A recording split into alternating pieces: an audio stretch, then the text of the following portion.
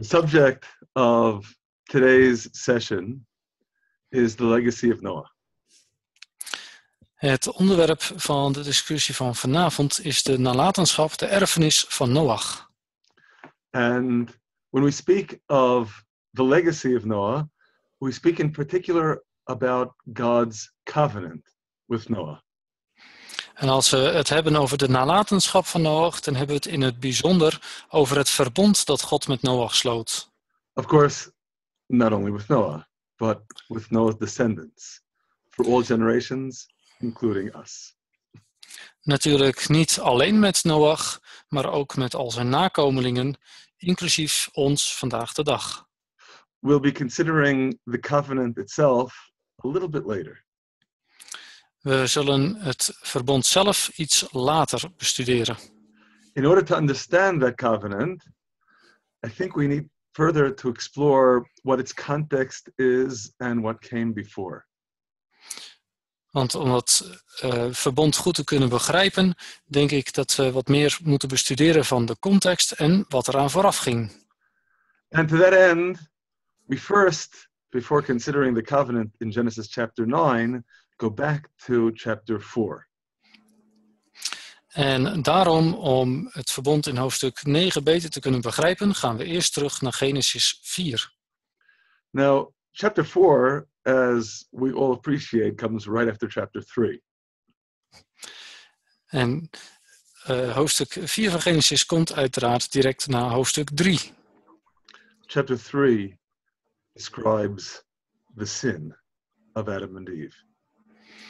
Hoofdstuk 3 beschrijft de zonde van Adam en Eva and their banishment from the Garden of Eden into our world. en hun verbanning vanuit de tuin van Eden naar onze wereld. And chapter 4, then coming from a rather unpleasant background, describes what seems like a tale of woe, going from bad to much, much worse. En hoofdstuk 4 eh, komt dus voort uit een situatie die al niet zo fraai is, maar het is een verhaal van ontzetting waarbij het van kwaad tot erger gaat. Let's begin with verse 8. Laten we beginnen met vers 8. And Cain spoke unto Abel his brother, and it came to pass when they were in the field that Cain rose up against Abel his brother and slew him. En Kain sprak met zijn broer Abel. En het gebeurde toen zij op het veld waren, dat Kain zijn broer Abel aanviel en hem doodde. The first murder, De eerste moord. fratricide. Ah, eh, broedermoord. And we continue in this narrative in verse 26. En we gaan met dit verhaal verder in vers 26.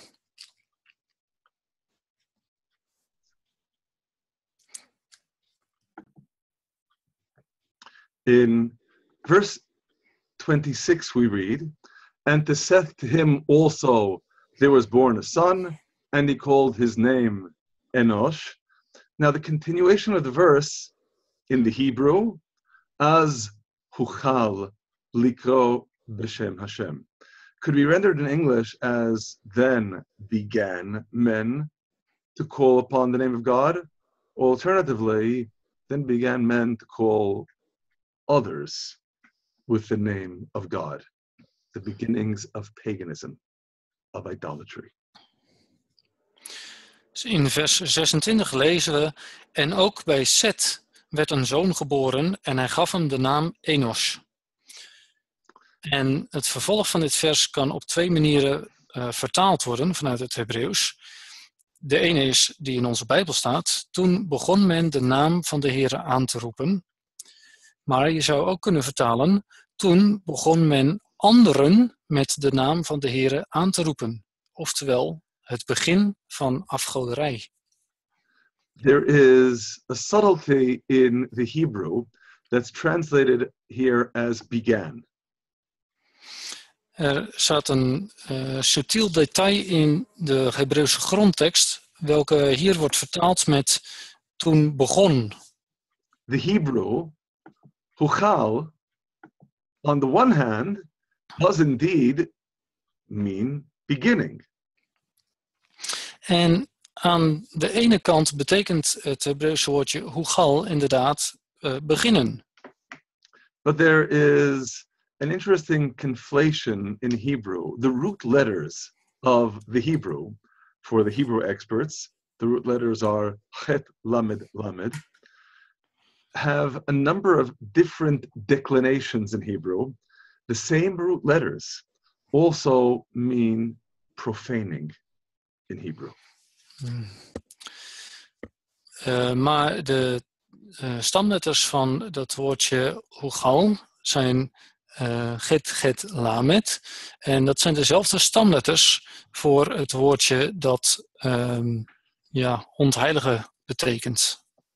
Indeed, the same root letters, Chet, Lamed, Lamed, Ah. also have the meaning of hollowing out, of making a void.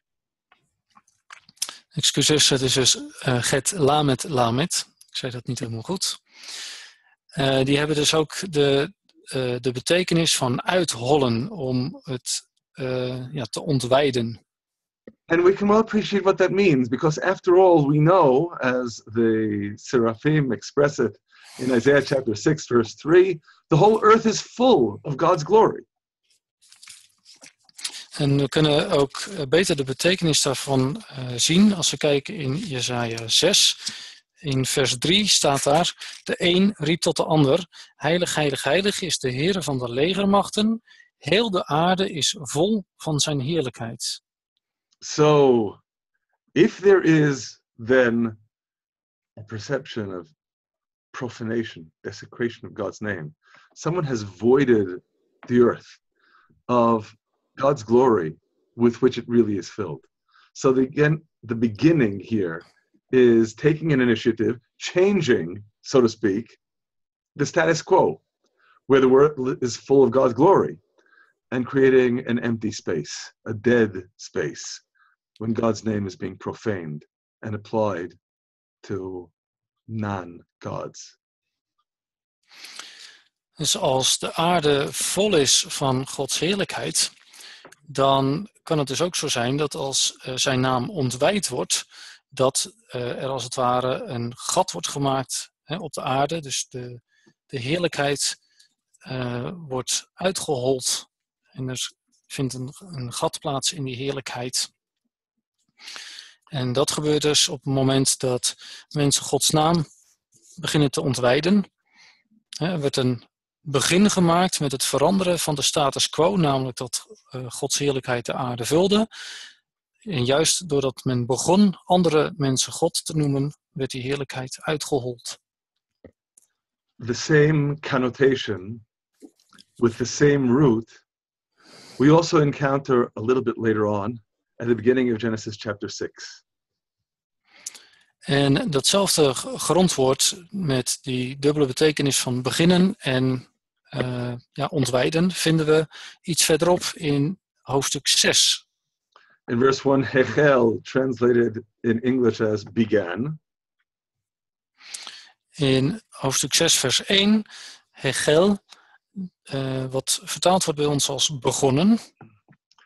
And it came to pass when men began to multiply on the face of the earth, and daughters were born unto them, that the sons of Bnei Elohim could be of the rulers, of the judges, of the great ones, saw the daughters of men that they were fair, and they took them wives whomsoever they chose.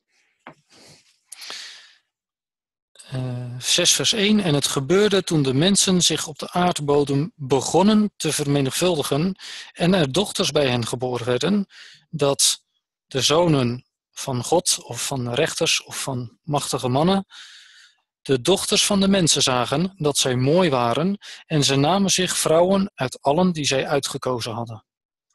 whomsoever they chose carries a connotation of not what was right, not what was proper, not perhaps what those daughters of men themselves would have wanted, but taking whomever they chose regardless. Zij namen zich vrouwen uit allen die zij- uitgekozen hadden.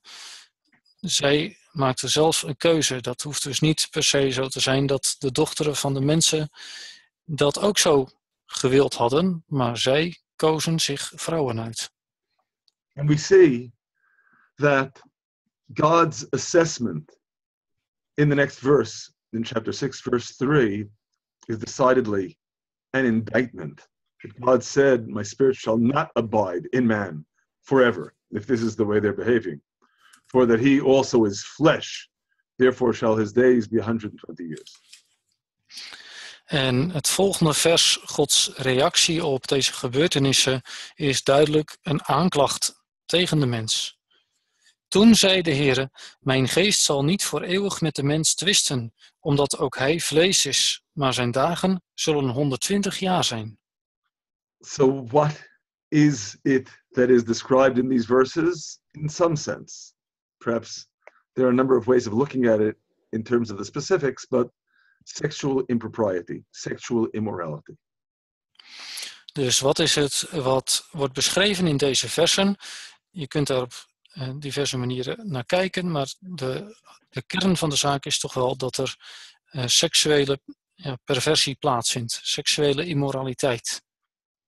So, when we consider what we're reading in these verses that follow on the heels of the first sin of Adam and Eve, we have bloodshed, Cain murdering Abel, his brother. We have idolatry, paganism, men calling others in the name of God, and we have sexual immorality, taking for them wives whomsoever they chose.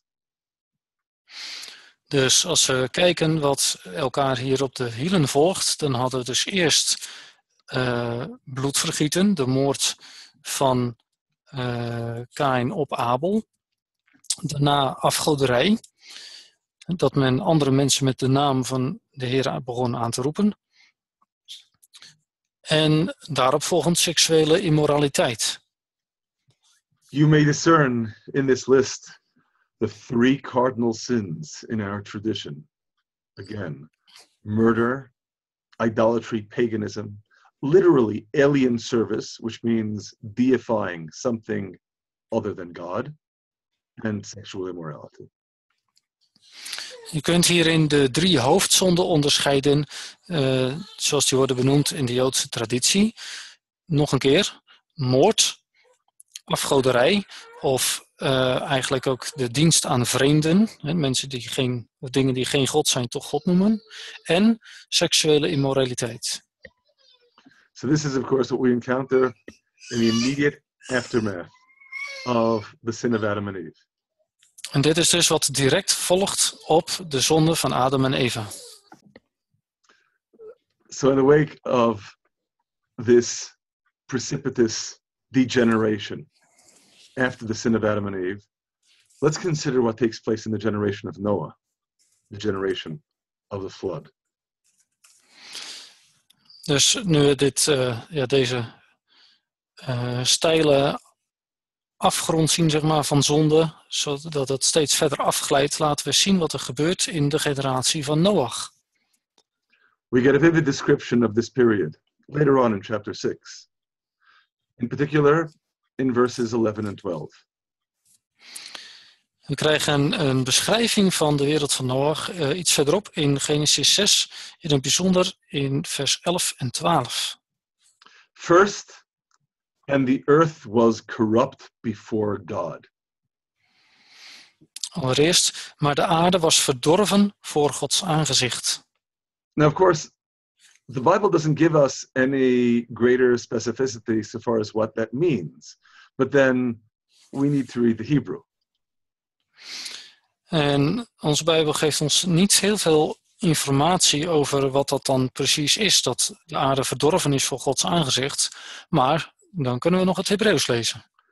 When we consider the Hebrew word that's being translated as was corrupt, vatishachet, we consider how the root of vatishachet appears somewhat later, but much more clearly in the Bible. Als we kijken naar het woord dat bij ons wordt vertaald als verdorven, dan staat daar watishachet. En iets verderop in uh, de Bijbel kunnen we veel duidelijker zien wat dat woord betekent. In Deuteronomy chapter 4, in verse 16, we read of the warning against idolatry, lest you deal corruptly and make you a graven image, even the form of any figure, the likeness of male or female. In Deuteronomium 4, vers 16 kunnen we zien dat dat woord betrekking heeft op afgoderij. Namelijk, uh, het begint midden in een zin, dat u niet verderfelijk handelt en voor u een beeld maakt, de afbeelding van enig afgodsbeeld, de vorm van een man of vrouw, de vorm van enig dier dat op het land leeft, de vorm van enig gevleugelde vogel die door de lucht vliegt, etc. The Hebrew for lest you deal corruptly, pentashchitun, comes from the self same root as vatishachet. So we can well conclude that this verb carries a connotation of idolatry. Dus dat woord wat daar vertaald staat in Deuteronomium 4, vers 16, verderfelijk handelen, dat heeft dezelfde, uh, stam, uh, stamwoord als het woordje vatishaget uit Genesis 6. En we zien dus dat het betrekking heeft op afgoderij. Well, that's the first part of verse 11. The second part tells us the earth was filled with what's translated here as violence. En dat was het eerste deel van vers 11. Maar het tweede deel zegt ook nog: En de aarde was vol met geweld. Tenminste, wat hier vertaald staat als geweld. The Hebrew word that's translated as violence here is Hamas. Het Hebreeuwse woord wat hier vertaald staat als geweld is Hamas. I do want to stress here that this is Hebrew, not Arabic. Ik wil benadrukken dat dit Hebreeuws is en geen Arabisch.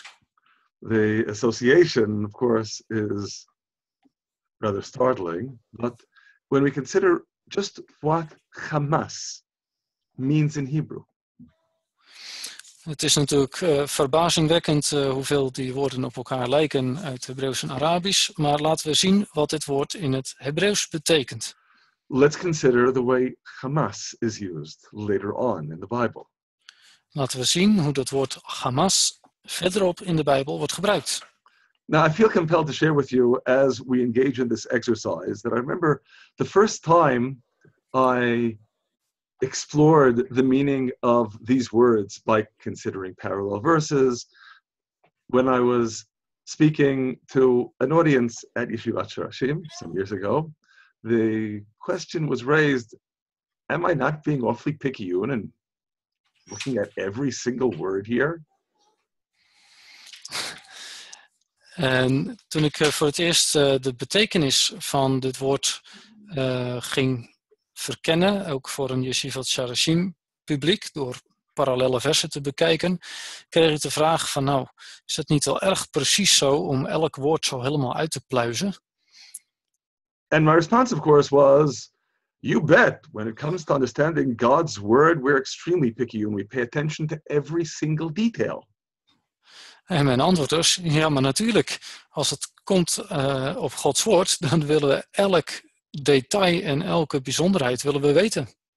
Then I realized that when people are accustomed to reading the Bible in translation, you really can't pay attention to all the details because you never know if the details are details that are really in God's word or perhaps they're just artifacts of the translation. Maar toen realiseerde ik me wel dat uh, als je alleen maar vertalingen leest, dat je eigenlijk nooit aandacht kunt schenken aan al die details. Want je weet maar nooit of jouw vertaling uh, werkelijk representatief is voor details in het Hebreeuws, of dat het ja, overblijfselen zijn van wat de vertalers ervan gemaakt hebben. Well, of course, as you know, in Jewish study of the Bible, we have no tradition of using translations. We only use the original. En zoals je weet, in de Joodse uh, traditie, we hebben geen traditie om de Bijbel te bestuderen in vertalingen. We gebruiken alleen het Hebreeuws. So we'll be very picayune. Dus wij kunnen heel goed eh, aandacht schenken aan die details. Let's consider a couple of examples where that word Hamas appears later on in the Bible in a very particular context. Laten we een aantal gevallen zien waar dat woord Hamas verderop in de Bijbel wordt gebruikt. In Isaiah chapter 59, verse 6, we read of the act of violence in the Hebrew. It's ufal Hamas. Now, the English here reads, is in their hands, but that's not exactly what the Hebrew says. The Hebrew, bechapehem, means in their palms. In Jesaja 59, vers 6 komen we eh, een vertaling tegen van het Hebreeuws Ufa'al Hamas, wat bij ons vertaald is als gewelddadig werk. En de hele tekst leest: Hun maaksels zijn maaksels van ongerechtigheid, gewelddadig werk is in hun handen. Dat woordje voor handen is in feite meer handpalmen. Likewise, in Jonah chapter 3, verse 8, the summons of the king of Nineveh to all the people to repent of their bad deeds is to return from, well, again, we read the violence in Hebrew from the Hamas. And again, while the translation imprecisely says that is in their hands, the Hebrew reads the chapehem. It's in their palms. En ook in Jona 3, vers 8, eh, lezen we dat eh, de mensen zich moeten bekeren van het geweld dat aan hun handen kleeft. Eh, maar ook in het Hebreeuws hier eh, leest de tekst weer eh, becha- bechapehem, letterlijk hun handpalmen. Now, it's one thing to speak of violence in their hands. Violence in their hands can mean any number of things because there are all sorts of things we do with our hands. En dit kan nog steeds van alles betekenen, want geweld dat in je handen is, ja, je doet eigenlijk alles met je handen wat met geweld te maken heeft. Dus is nog niet heel specifiek. But again, the Hebrew says their palms. The palm is how you take things, how you seize that which belongs to another. Maar nogmaals, het Hebreeuws zegt geen handen, maar handpalmen. En handpalm heeft te maken met hoe je dingen ontvangt, hoe je dingen tot je neemt die niet van jou zijn. Palm is how you take possession. And when you take possession violently, that's stealing what belongs to another person. Dus die handpalmen zijn bedoeld om te ontvangen. En wanneer je met geweld iets pakt wat niet van jou is, dan heet dat diefstal. So the earth was filled with violence refers to stealing. Dus dat zinnetje en de aarde was vol met geweld, dat refereert naar stelen, naar diefstal. And then in verse 12, we read, All flesh had corrupted their way upon the earth. En dan lezen we in Genesis 6, vers 12. Want alle vlees had een verdorven levenswandel op de aarde. Well, what's the connotation of flesh? Maar wat is nu eigenlijk de betekenis van vlees, alle vlees? We might intuitively feel that the connotation is carnal sin. Let's explore that even more precisely in considering how flesh appears earlier on in the Bible, in Genesis. We zouden kunnen aanvoelen dat dat ja, een hoofdzonde is waar dat mee te maken heeft. Maar laten we zien waar dat woordje vlees eerder wordt gebruikt in de Bijbel. the first place that it appears, and it appears repeatedly here, is when we read in Genesis chapter 2, verses 21 through 24, of the creation of the woman, of Eve. En de eerste keer dat we dit woord tegenkomen is in Genesis eh, 2. Daar komen we het meerdere keren tegen uh, in het verhaal waar God de vrouw maakt. After God takes one of Adam's ribs or sides, he closed up the place with flesh, we read in verse 21. In vers 21 lezen we hoe God uh, een van Adams ribben of zijde nam en de plaats ervan toesloot met vlees. In verse 23, the way the man reacts to the woman is this is now bone of my bones and flesh of my flesh. En in vers 23 lezen we hoe Adam reageert op deze nieuwe vrouw. Deze is ditmaal been van mijn beenderen en vlees van mijn vlees. And finally, in verse 24, the final assessment, so to speak. Therefore shall a man leave his father and his mother and shall cleave unto his wife, and they shall be one flesh. En in vers 24 lezen we de eindbeoordeling. Daarom zal een man zijn vader en zijn moeder verlaten en zich aan zijn vrouw hechten, en zij zullen tot één vlees zijn. Now, this, of course, is not at all sinful. This is the most exalted view of sexuality. Nee, dit is natuurlijk geen zonde. Dit is de, de meest verheven manier om te kijken naar seksualiteit. But returning now again to chapter 6, when all flesh had corrupted their way, that intimates the sin of sexual immorality. Maar wanneer we teruggaan naar Genesis hoofdstuk 6 en we lezen daar dat alle vlees zijn weg had verdorven, dan verwijst dat naar seksuele immoraliteit. We might note that after the first place where sexual immorality was implicitly described in chapter 6 verse 2, that's when in the aftermath God says in verse 3, he is also flesh. Herinner je dat de eerste keer dat we lazen over seksuele immoraliteit in Genesis 6 vers 2, het vers daarna lazen we dat uh, Gods geest niet voor eeuwig met de mens zal twisten, omdat ook hij vlees is. So the bankruptcy of humanity in the generation of Noah, in the generation of the flood, is described principally in terms of three crimes. Dus het bankroet eh, van de generatie in de tijd van Noach wordt beschreven in hoofdzakelijk drie hoofdmisdaden. Idolatry, stealing, and sexual immorality. Afgoderij, diefstal en seksuele immoraliteit. Now you may note that this is not exactly the same as the list of cardinal sins that we saw implicitly described in chapters 4 and the beginning of 6. En zoals u zich misschien kunt herinneren, is dit niet exact dezelfde lijst als degene van hoofdzonden die we eerder beschreven bij Genesis 4 en verder. Idolatry is there, sexual immorality is there, murder isn't there, rather stealing is. Afgoderij staat in het rijtje, in beide rijtjes, en seksuele immoraliteit staat in beide rijtjes. Maar moord staat wel in het ene rijtje en is in het andere rijtje diefstal.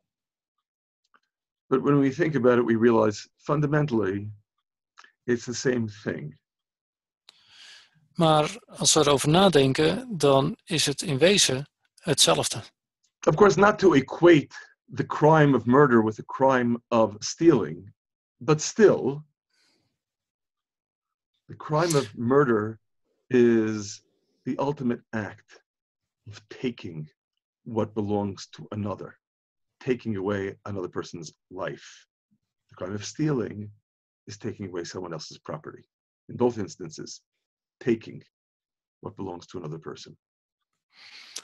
Niet natuurlijk om moord en diefstal op één lijn te stellen, maar als we naar kijken, dan is uh, moord het nemen van iemands leven en uh, dat leven behoort hen toe en niet jou.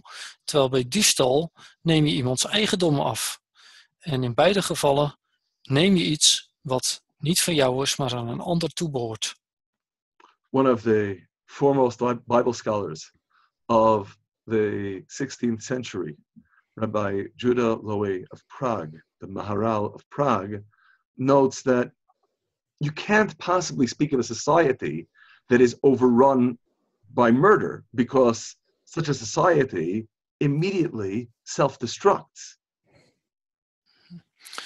En een van de Bijbelgeleerden uit de 16e eeuw, de Maharal van Praag, die zei van je kunt eigenlijk niet van een maatschappij spreken als die overheerst wordt door moord, want zo'n maatschappij stort direct in elkaar. So, naturally, then, the way the cardinal sins that characterize this period will be described are in terms of the sin of idolatry, the sin of sexual immorality, but rather than murder, which simply can't be rampant in a society that still exists, the sin of stealing. But again, it amounts to the same idea taking. Dus eh, als we daar eh, aan denken, dan is het wel logisch dat de hoofdzonden in de tijd, in de generatie van Noach, eh, worden beschreven aan de hand van die drie dingen die daar ook staan, namelijk afgoderij, seksuele immoraliteit en dan niet moord, want dan had je niet meer kunnen spreken van een maatschappij, maar in plaats daarvan diefstal. We'll, Maar nog steeds hetzelfde, nemen wat niet van jou is. We'll consider in another few minutes what the significance of these three categories of sin is. We zullen eh, binnenkort kijken naar wat de betekenis is van deze drie categorieën van zonde. For now, it's enough for us to consider that this generation has a lot of problems.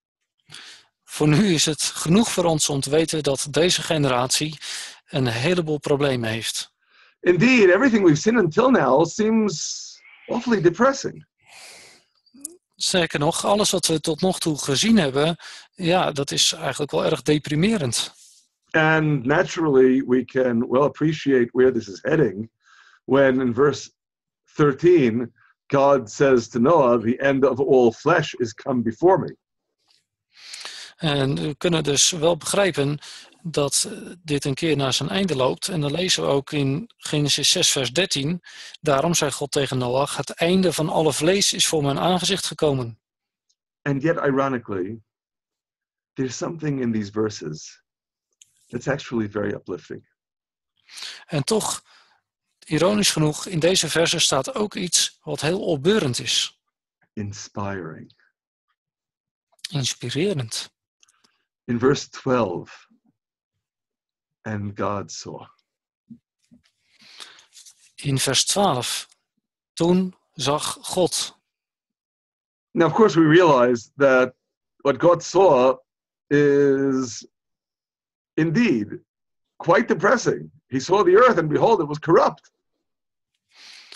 En toegegeven, wat God zag was behoorlijk deprimerend. Heel de aarde was corrupt.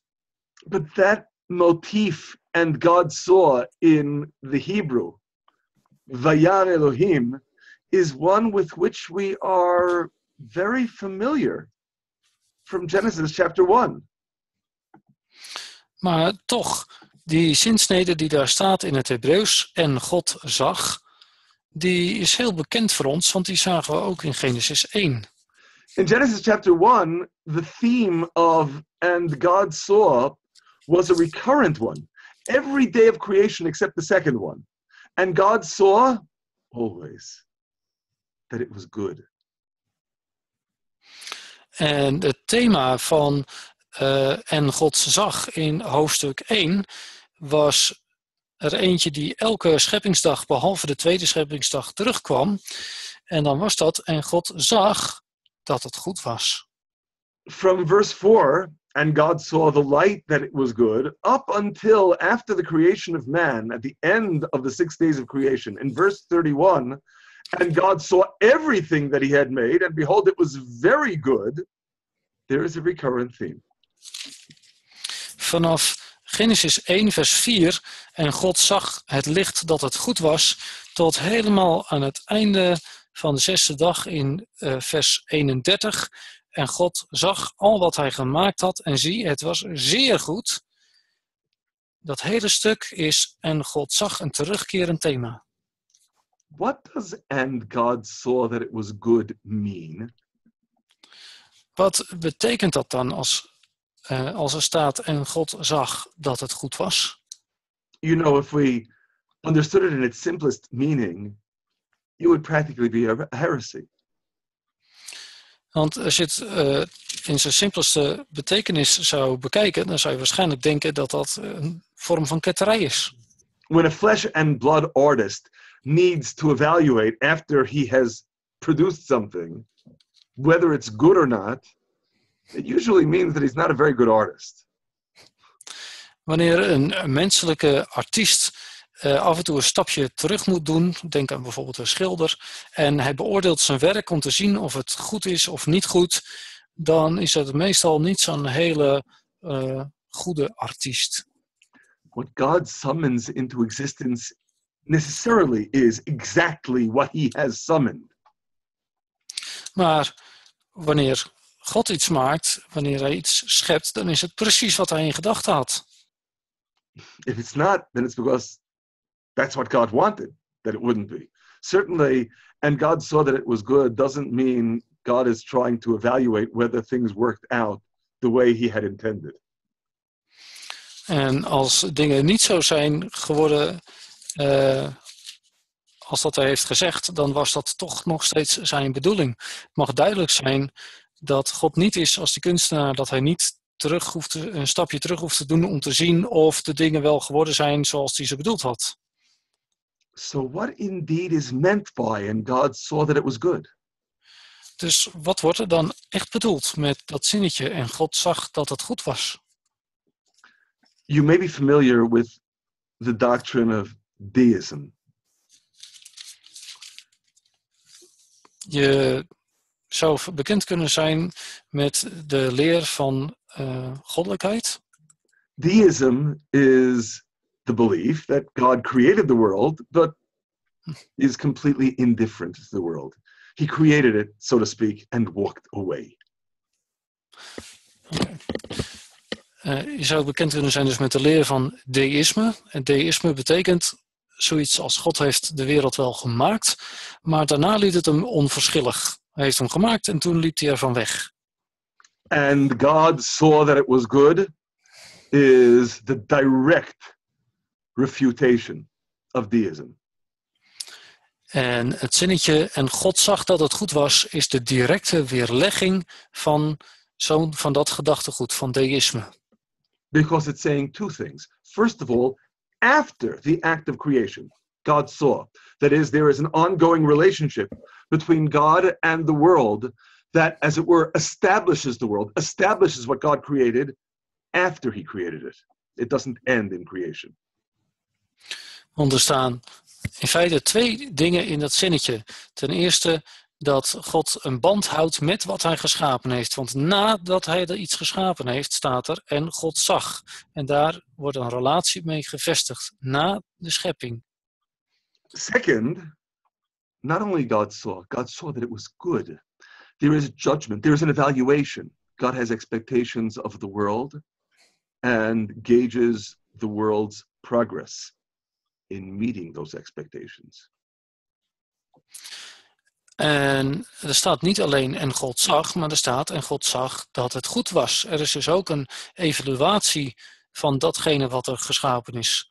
God kijkt naar zijn schepping en heeft daar bepaalde verwachtingen bij. En hij meet als het ware, hij peilt de voortgang van de schepping. Now, admittedly, that can be kind of scary when the world fails to live up to God's expectations. En dat kan nogal uh, ja, uh, angstwekkend overkomen op het moment dat de wereld niet aan Gods verwachtingen voldoet.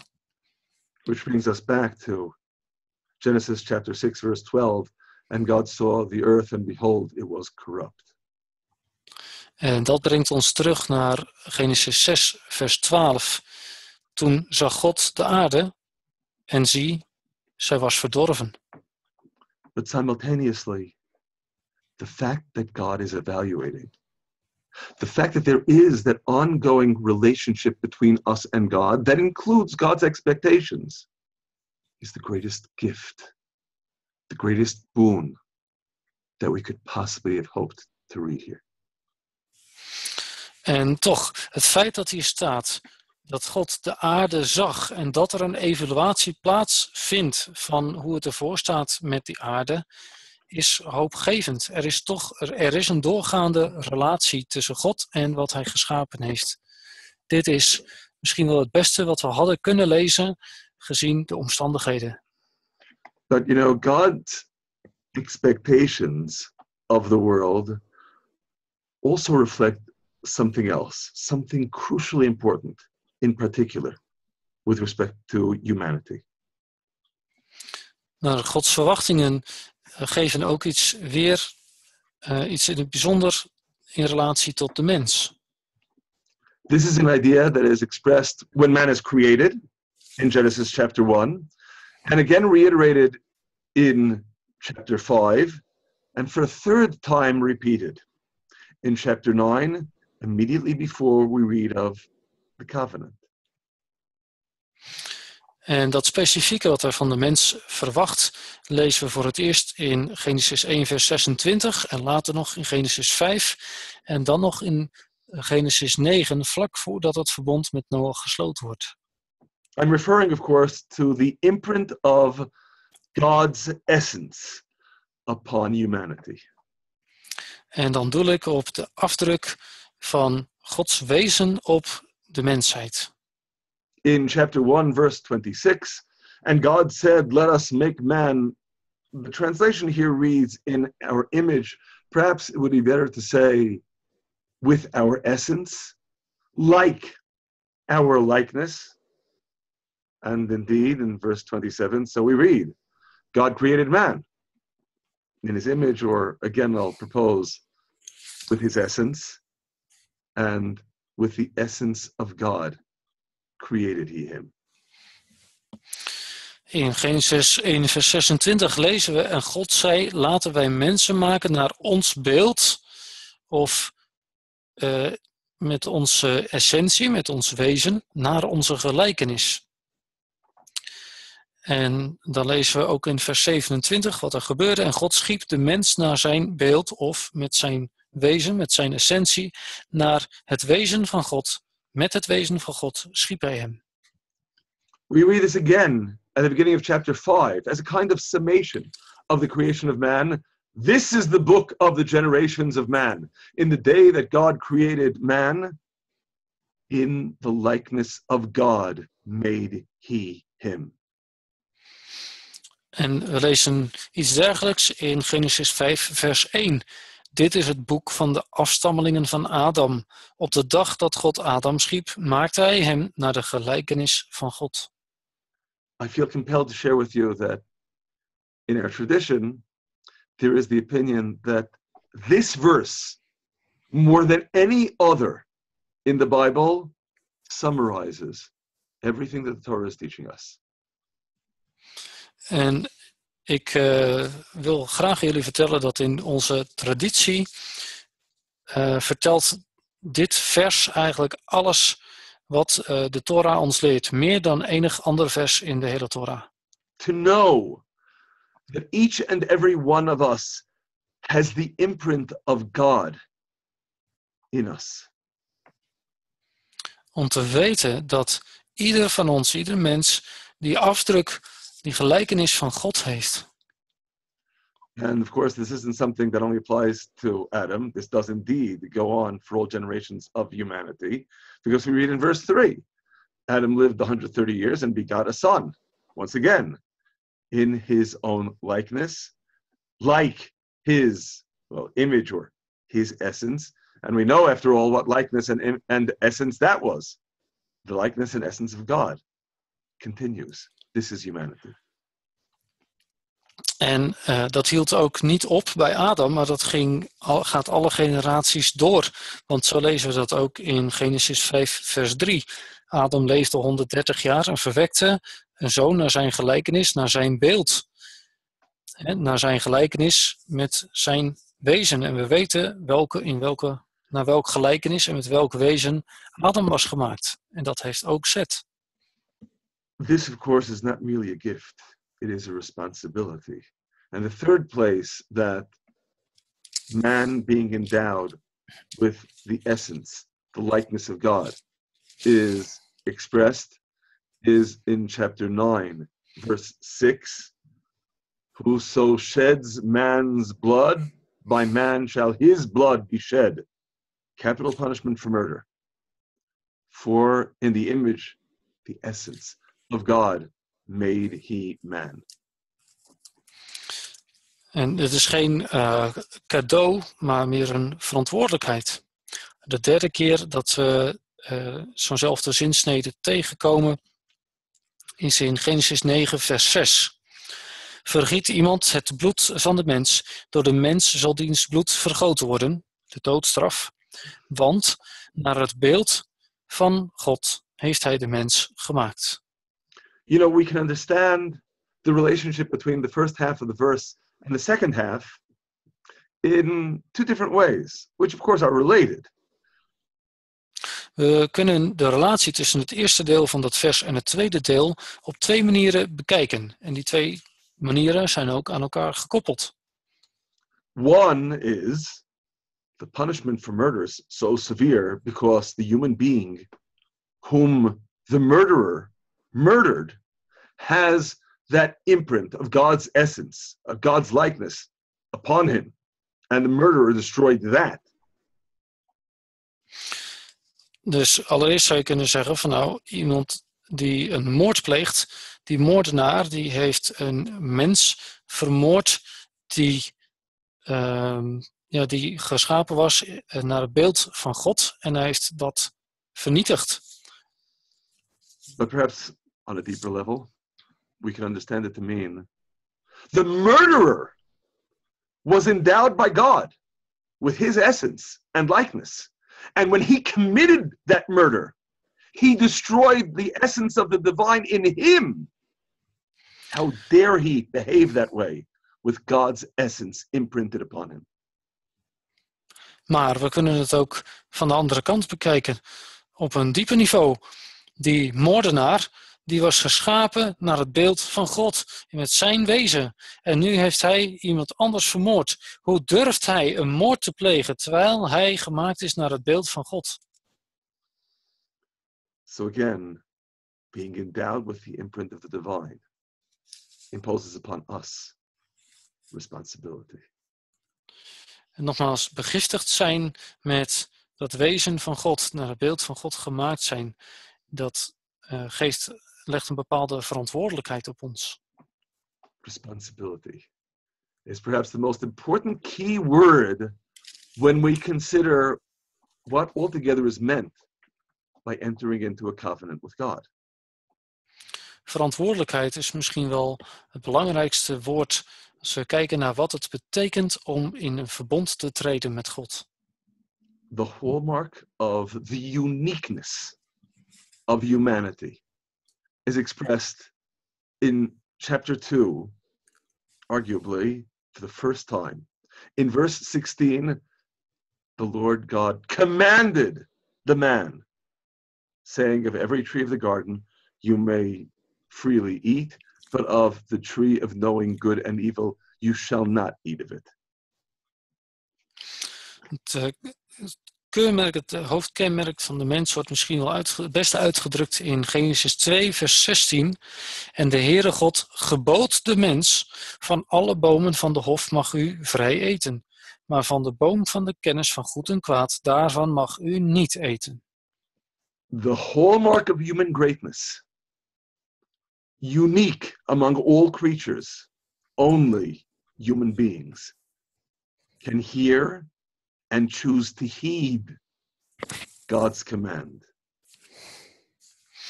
Het keurmerk van de mens, waarmee hij zich onderscheidt van alle andere schepselen, is dat hij als enige het gebod van God kan horen en het kan volgen. Of niet? I emphasize these verses in Genesis chapter 2 because after all that introductory material, we need to consider so, where do we find the laws that are implicit in the Noahide covenant? The Noahide laws. Where are they expressed in the Torah?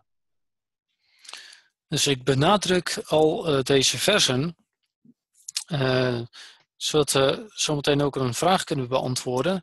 Waar kunnen we die zeven Noachitische wetten vinden in de Torah? Waar staan die nu geschreven? And the answer tantalizingly is explicitly they are not. En het kwellende antwoord is, die staan niet expliciet vermeld. There is an ancient homily that associates the words of Genesis chapter 2, verse 16 and 17 with the seven Noahide laws. It's a homily, certainly not literally. I'm not even going to share with you the details of how to make the association because then I would have to defend it and I'm not really sure that I can. Er is een, so, ja, een soort preek of verhandeling die de zeven Noachidische wetten afleidt uit uh, die twee versen die we net gelezen hebben. Uh, Genesis 2, vers 16 en 17. Maar ik ga dit nu niet behandelen, want en dan zou ik het ook moeten kunnen verdedigen. En ik weet niet zeker of ik dat allemaal kan, die afleidingen. But that homily, I submit, is not at all accidentally associated with the verses that, for the first place in the Bible, describe to us God commanding man. Maar het punt dat ik wil maken is die verhandeling uh, die de zeven Noachitische wetten aan deze twee versen koppelen, zijn niet zomaar gekoppeld juist aan deze versen waarin staat dat God de mens gebiedt. That command does undoubtedly prefigure the commands that we read explicitly in Genesis chapter 9 after Noah and his family emerged from the ark. En uh, het gebod dat we daar lezen zijn ongetwijfeld de, de voorloper van het gebod wat uh, Noach en uh, zijn reisgenoten krijgen op het moment dat ze de ark uitkomen. Well, first, since Adam and Eve had been commanded to eat only of the plant kingdom, in verses 2 and 3, God gives license to humanity to eat meat as well. Want nadat uh, Adam en Eva uh, alleen toestemming hebben gekregen om plantaardig voedsel te eten, nu in Genesis 9 krijgen uh, Noach, zijn vrouw en al een nageslacht ook toestemming om vlees te eten. But we read in verse 4 only flesh with the life thereof, which is the blood thereof, shall you not eat. Maar, lezen we in vers 4, maar vlees met zijn leven, zijn bloed erin, dat mag u niet eten. And this is one of the Noahide laws, the prohibition on eating a limb that is torn from a living animal. En dit is een van de verboden in de zeven Noachitische geboden, namelijk dat je niet uh, een dier mag eten of een, een ledemaat mag afrukken en opeten van een levend dier. There is another one of the Noachide laws that is stated here. We already noted this in verses 5 and 6. God says, At the hand of man, even at the hand of every man's brother, will I require the life of man, meaning, verse 6, whoso sheds man's blood, by man shall his blood be shed. Murder. and the punishment for murder. Een ander Noachitisch gebod zien we expliciet ook in vers 5 en 6, Namelijk ook van de hand van de mens, van de hand van ieders broeder, zal ik vergelding eisen voor het leven van de mens. En vers 6. Vergiet iemand het bloed van de mens, door de mens zal diens bloed vergoten worden. Moord wordt bestraft met de doodstraf. But I need to note here we're reading of these commands before we actually read anything about a covenant. We read about a covenant for the first time only in chapter 9, verse 9, when God says, As for me, behold, I establish my covenant with you and with your seed after you. Let wel op dat deze dingen allemaal staan nog voordat er ergens ook maar sprake is van een verbond. Want we lezen voor het eerst pas weer van een verbond in vers 9. En ik, zie, ik maak mijn verbond met u, met uw nageslacht na u. And what is that covenant? We read in verse 11, I will establish my covenant with you. Neither shall all flesh be cut off any more by the waters of the flood, neither shall there be any more a flood to destroy the earth. En wat houdt dat verbond dan in? In vers 11 lezen we: Ik maak mijn verbond met u dat niet meer alle vlees door het water van een vloed zal worden uitgeroeid en dat er geen vloed meer zal zijn om de aarde te gronden te richten. One moment, this is a covenant. It seems that the only one who has any obligation here is God. Wacht even, is dit hier een verbond? Het lijkt erop dat de enige die hier een verantwoordelijkheid heeft, dat dat God is. God is obligating himself not to bring any more a flood to destroy the earth. God legt het zichzelf op dat hij niet meer een watervloed zal sturen om alle vlees uit te roeien. A covenant is a set of mutual obligations from both sides.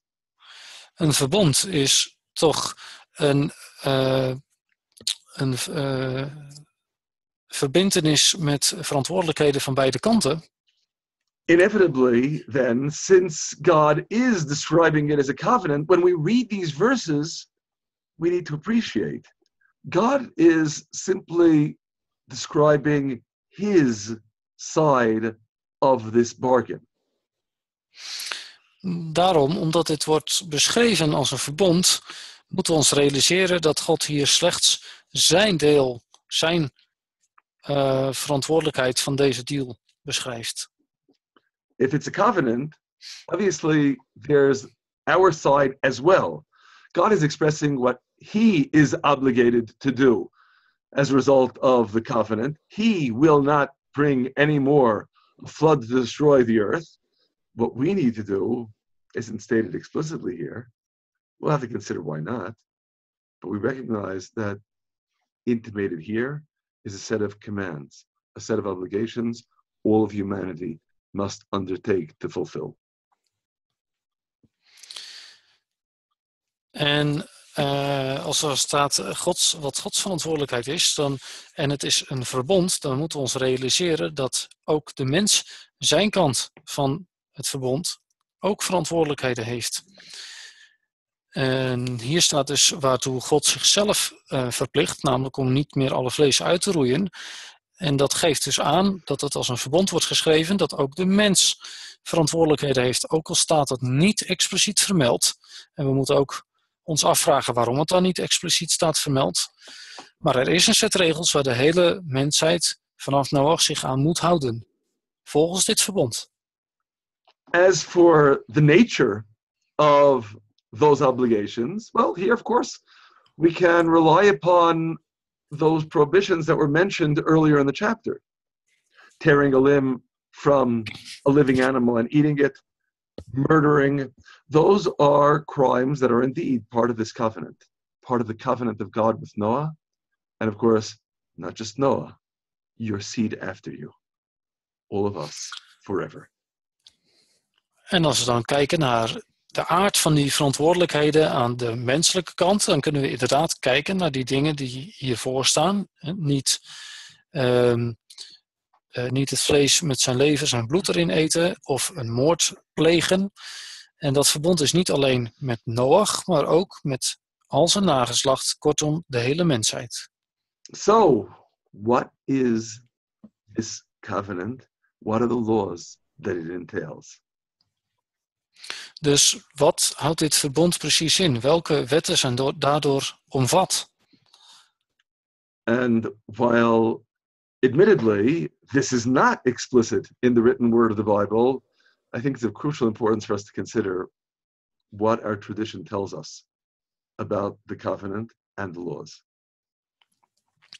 En ik denk, eh, ook al staat het niet letterlijk zo in de Bijbel, dat het heel belangrijk is om te zien wat onze traditie ons vertelt over dit verbond met Noach. Which brings me to this table the roots of God's covenant with Noah and all of Noah's descendants, that is, all of humanity, mapping the essential components of life. En dat eh, brengt mij uh, toe om het volgende te gaan bekijken: de, de wortels van Gods verbond met Noach en al Noach's, Noach's afstammelingen, de hele mensheid. We gaan een kaart maken van de essentiële componenten van het leven. Now, before I explain what that means, let's consider the list. What are the Noahide laws? En voordat we gaan kijken wat dat precies betekent, laten we eerst zien wat nu precies die zeven Noachidische wetten zijn. Number one, no murder.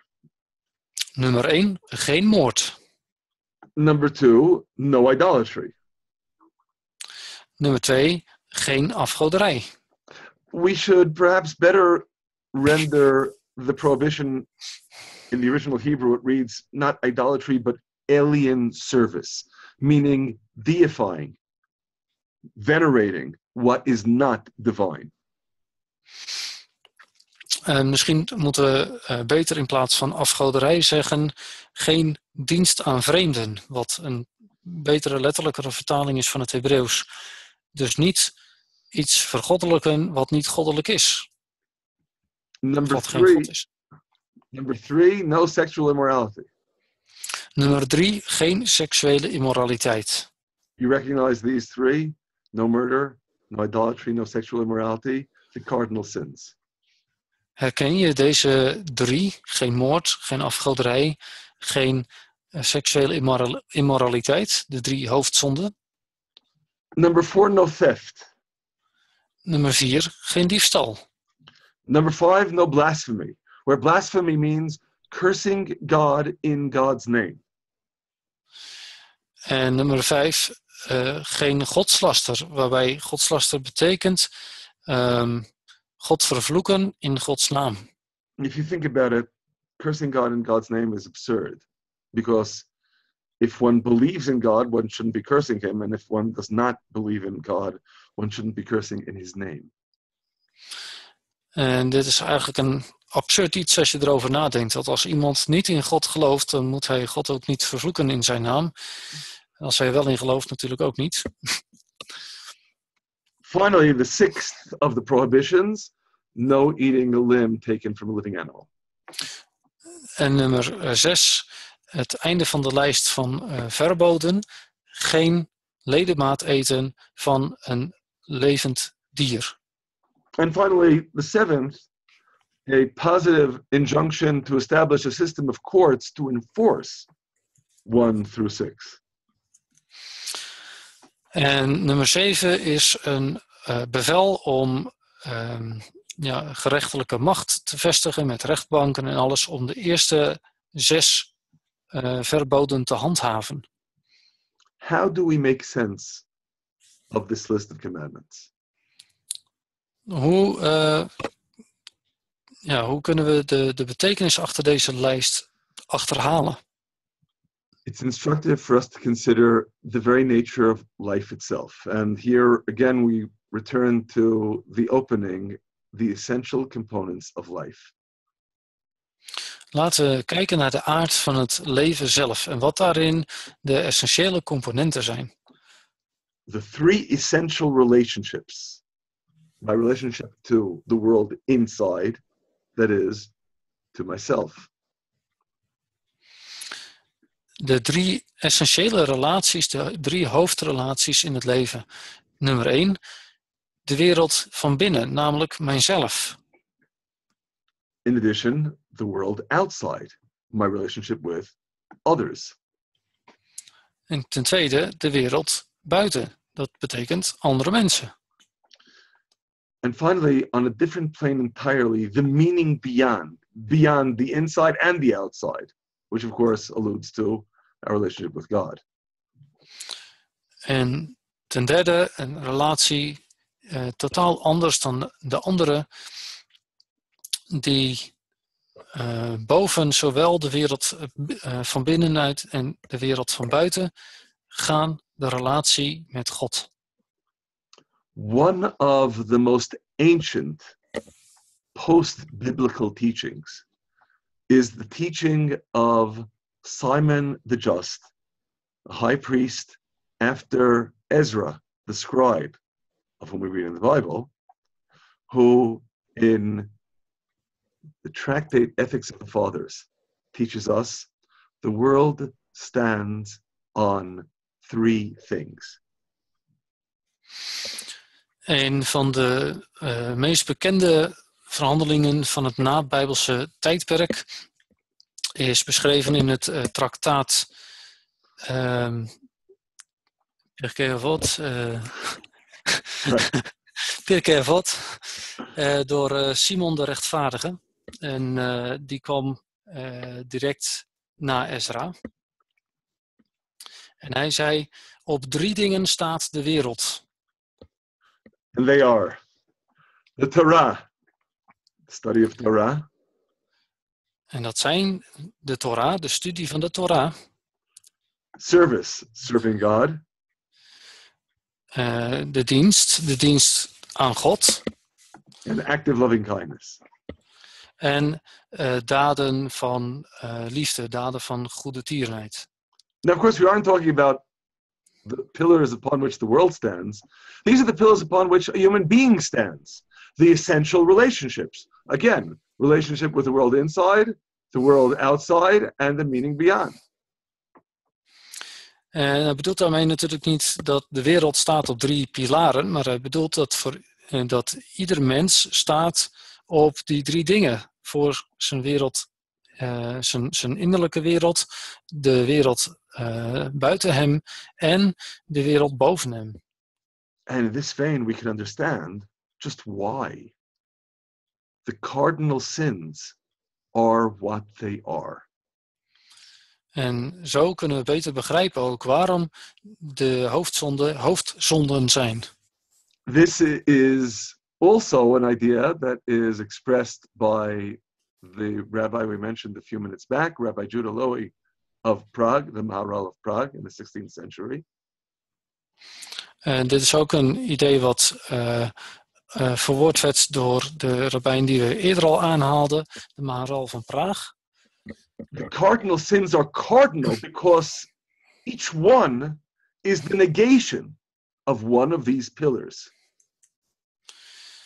En de hoofdzonden zijn hoofdzonden omdat ze de absolute ja, ontkenning zijn van uh, deze pilaren. We can readily appreciate that murder is the utmost negation of kindness, of the proper relationship with the world outside, with others.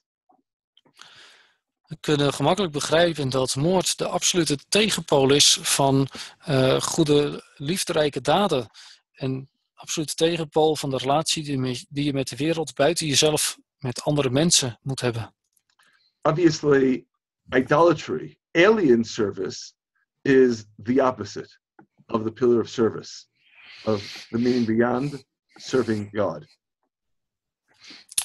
En heel duidelijk, nummer twee, geen afgoderij of letterlijk geen dienst aan vreemden, is verwant met, is de tegenpool van de dienst aan God, de relatie met de wereld boven jou, met God zelf. Now, this relationship may seem less obvious. How the opposite of Torah is sexual immorality. En de volgende kan iets, iets wat uh, moeilijk te zien zijn, hoe de Torah-studie het tegenovergestelde is van seksuele immoraliteit. But then we need to consider what the Torah is and what sexual immorality is. Maar dan moeten we kijken wat de Torah is en wat seksuele immoraliteit is. The Torah, as we've noted many times, despite the fact that it is often translated as law, does not mean law. It means teaching. De Torah, ondanks dat het vaak vertaald wordt met wet, betekent geen wet, het betekent onderwijzing. What does it teach? En wat onderwijst het dan? It teaches a way of life. Het leert een manier van leven. It teaches us how to refine ourselves. Het leert ons hoe we onszelf kunnen verfijnen. how to elevate ourselves to a godly level. Hoe we onszelf kunnen ja, louteren en, en opheffen tot een eh, goddelijk niveau. The utmost negation of Torah is sexual immorality. De absolute tegenpool van de Torah is seksuele immoraliteit.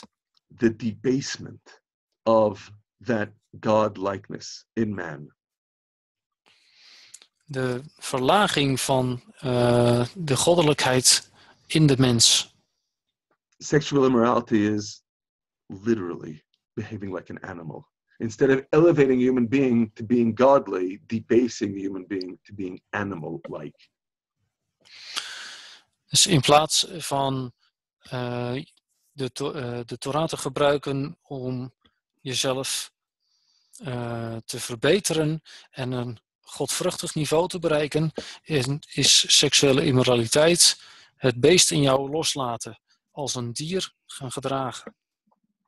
So these three crimes are indeed the negation of the three pillars.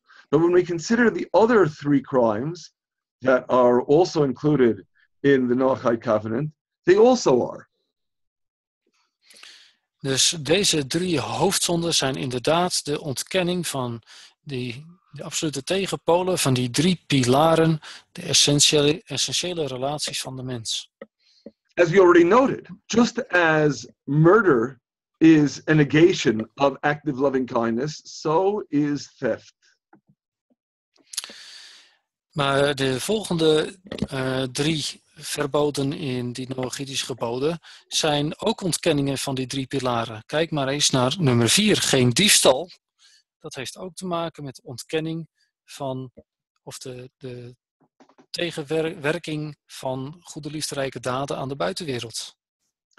Admittedly, on a more subtle plane, not as graphic and awful as murder, but it too is a negation of active loving kindness because it is taking what belongs to another instead of giving to another. En het is misschien wat subtieler en niet zo grof als moord, maar toch is diefstal een tegenpool van de goede, liefderijke daden. Want je neemt iets wat niet van jou is in plaats van te geven.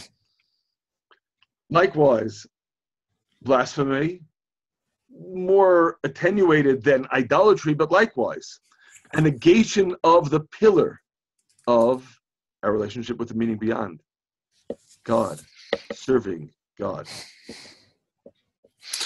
En nummer vijf, geen godslastering.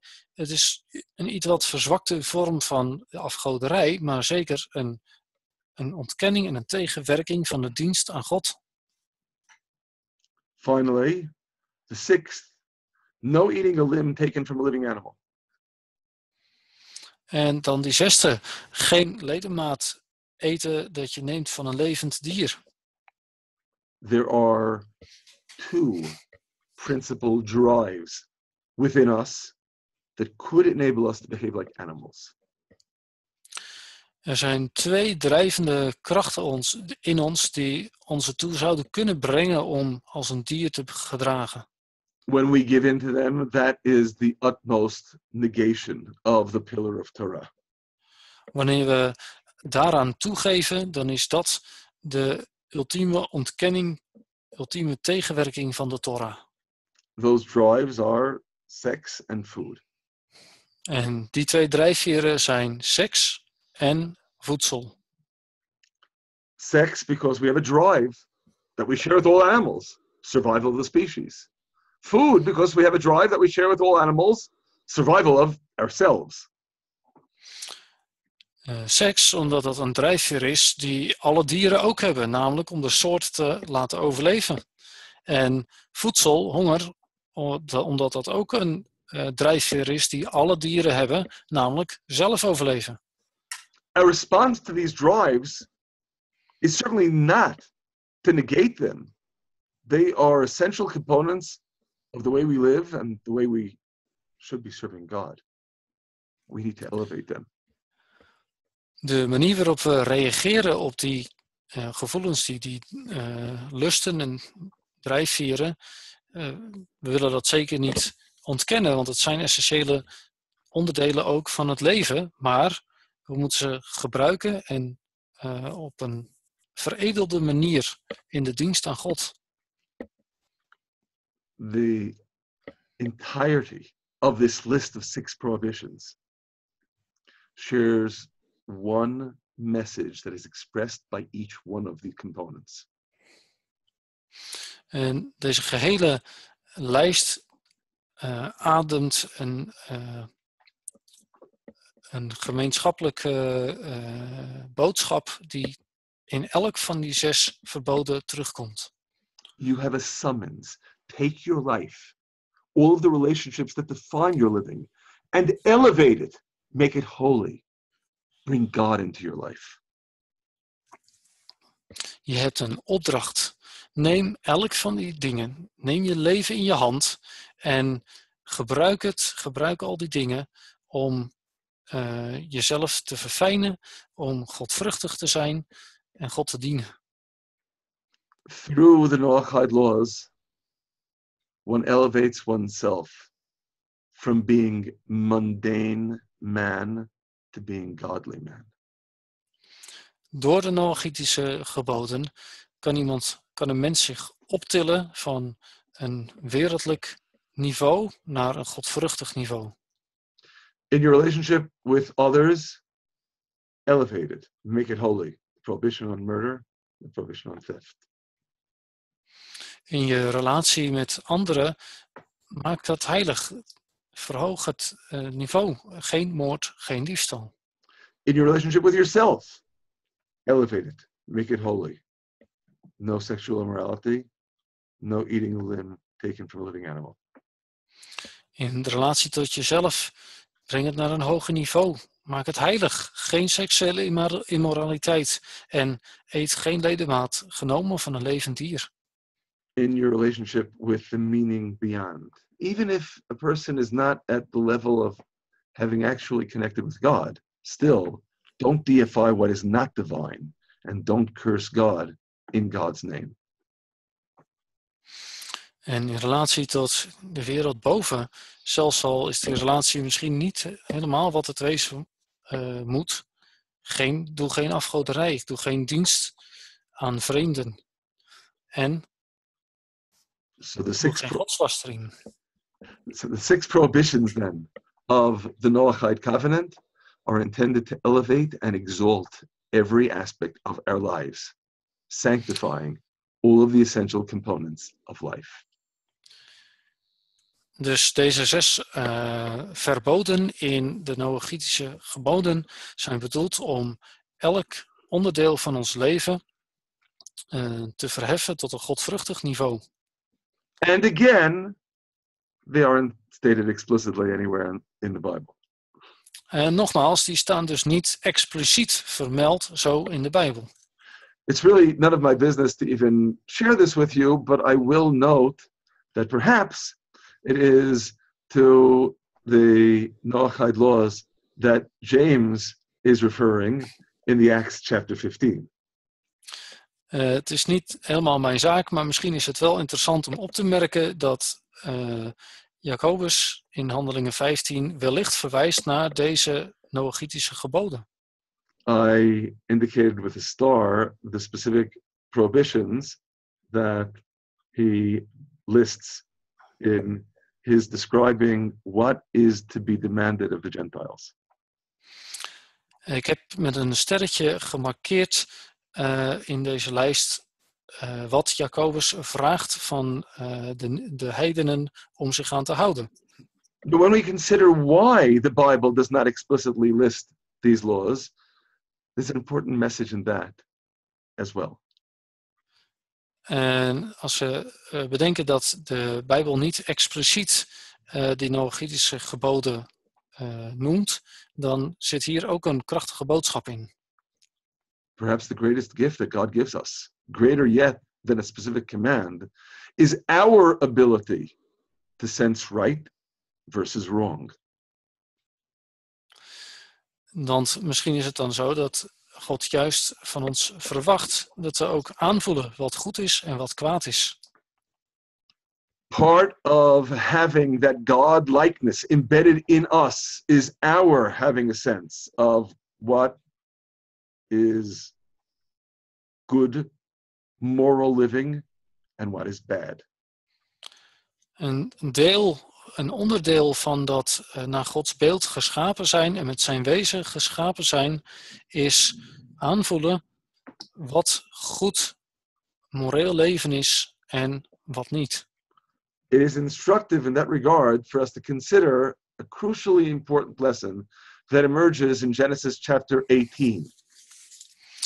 En daarvoor is het uh, belangrijk om uh, te kijken naar Genesis 18. Where the Bible teaches us something truly revolutionary through Abraham. Waar de Bijbel ons iets revolutionairs onderwijst door Abraham heen. Beginning in verse 23. Will you indeed sweep away the righteous with the wicked? In Genesis 18, vers 23. En Abraham kwam dichterbij en zei: Zult u ook de rechtvaardige tegelijk met de goddeloze wegvagen? And in verse 25, that be far from you to do like this manner, to slay the righteous with the wicked.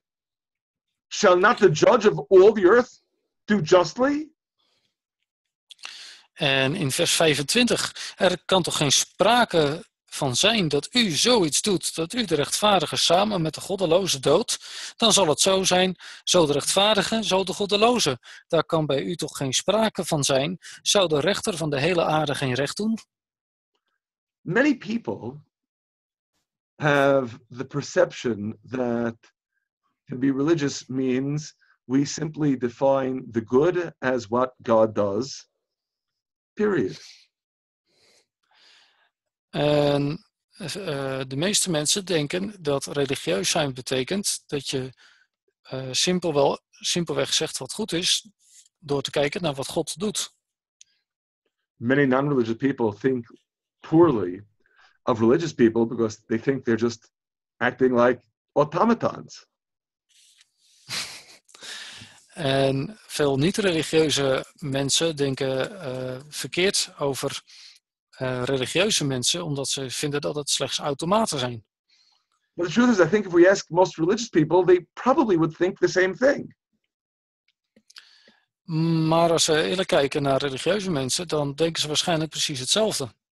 And it should be clear to us, in these words, Abraham has fatally rejected that view. Het mag duidelijk zijn dat Abraham die visie totaal overhoop heeft gegooid.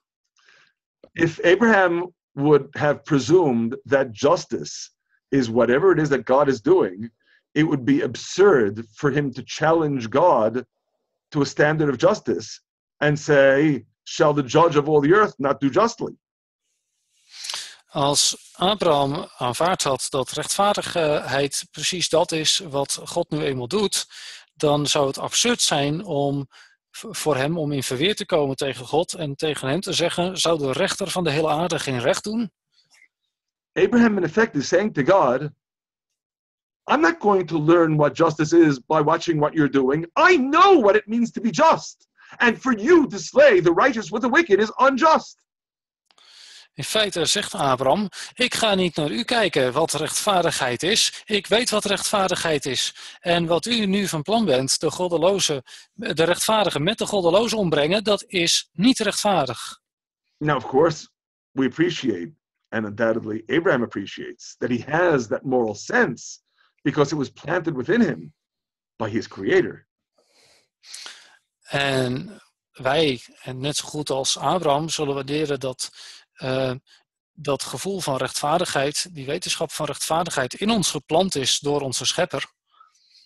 but that means that we have within ourselves a moral compass that tells us how we should or should not behave. En, maar dat betekent dat wij in onszelf een moreel kompas hebben. Hoe we ons wel of niet moeten gedragen. That, more than anything, is the greatest gift that God gives us the ability to discern what is right and what is not. Dat meer dan alles is een geweldige gave van God. Dat we kunnen onderscheiden wat eh, goed is en wat niet goed is. The Noahide laws are not explicitly written in the Bible. De Noachitische wetten staan niet expliciet vermeld in de Bijbel. We believe we have them by oral tradition, but it's not explicit in the text. We geloven, ze, we geloven dat we ze bij, door de mondelinge traditie hebben ontvangen, maar ze staan niet expliciet in de tekst. because it doesn't need it to be. You don't need to read these laws in order to know that violating them is wrong. Mede omdat eh, ze hoeven niet expliciet in de tekst te staan. Want door ze simpelweg te lezen, weet je dat het overtreden ervan slecht is. God's covenant with Noah and with all of humanity acknowledges that moral compass within us and acknowledges that we, as human beings endowed with the imprint of God, can choose to make ourselves godly. Dat verbond met Noach eh, erkent dat wij een, dat morele kompas hebben. En dat we ervoor kunnen kiezen. Dat we keuzes kunnen maken om eh, ons leven uh, godvruchtig in te richten. Now, of course, that also means we can choose not to. Dat betekent uiteraard ook dat we ervoor kunnen kiezen om dat niet te doen. But the hallmark of human greatness is precisely this Maar het kenmerk van menselijke grootheid is precies dit. And it is in this vein that we appreciate the words that immediately precede Abraham challenging God. What God says in verses 17 and on in chapter 18 Shall I hide from Abraham that which I am doing? Seeing that Abraham shall surely become a great and mighty nation, and all the nations of the earth shall be blessed in him, because he will be a guide for all of them. En in relatie hiermee kunnen we uh, beter doorgronden wat er staat in de versen uh, voorafgaand in hoofdstuk uh, 18 van Genesis, in versen 17 en 18. De Heere zei, zal ik voor Abraham verbergen wat ik ga doen? Immers, Abraham zal zeker tot een groot en machtig volk worden, en alle volken van de aarde zullen in hem gezegend worden. And verse 19. For I have known him to the end that he may command his children and his household after him, that they may keep the way of God to do righteousness and justice, to the end that God may bring upon Abraham that which he has spoken of him. Vers 19. Want ik heb hem gekend, opdat hij aan zijn kinderen en zijn huis na hem bevel zou geven om de weg van de Heere in acht te nemen, door gerechtigheid en recht te doen, opdat de Heere over Abraham zal brengen wat hij over hem gesproken heeft. This is the hallmark of human greatness.